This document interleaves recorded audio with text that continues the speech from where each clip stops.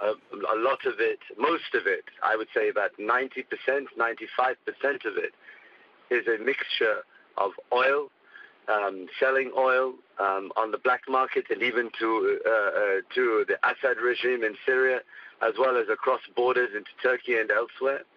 Uh, a, a lot of it is through taxes now of areas that they control. They've been doing that in Raqqa, in Mosul, and other places.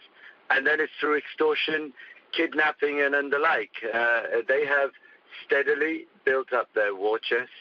Um, as you hear, the, they are now described as the richest terrorist uh, group or uh, in the world, and and uh, that is because they've had a, a very purposeful uh, strategy, um, which uh, has made them uh, so strong, and it's also enabled them to recruit the kinds of numbers and pay salaries Uh, for for these people uh, uh, in, in such a such a fast way that we are now talking about 30 to 40,000 ISIS fighters.